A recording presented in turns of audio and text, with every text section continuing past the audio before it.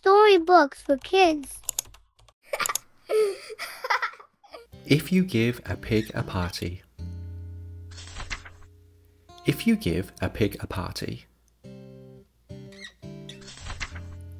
she's going to ask for some more balloons. When you give her the balloons, she'll want to decorate the house.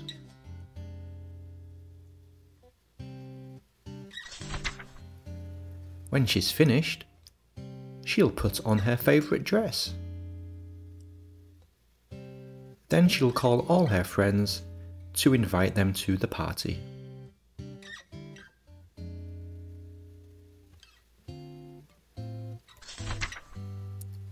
Her friends won't be home, so you'll go with her to look for them. On the way, she'll see a street fair. She'll want you to take her on the bumper cars.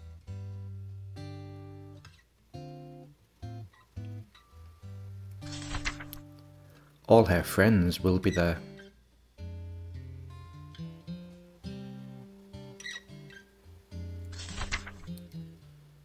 Then you'll have to take her on all the rides.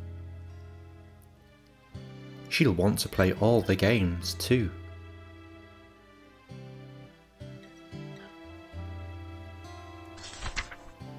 When she's done, she'll ask you for some ice cream. When she's finished eating the ice cream, she'll need to change her clothes. You'll have to take her home.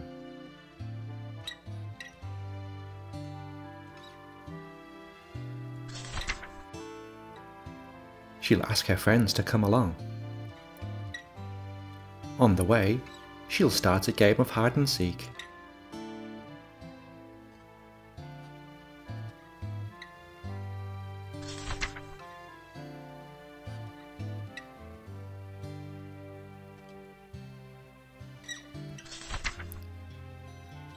When you finally get home, you'll have to make dinner. Then she'll want to have a sleepover. You'll have to find pyjamas.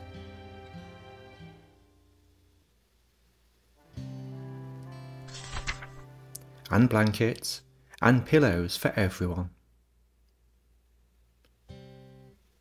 When she sees the pillows, she'll probably start a pillow fight.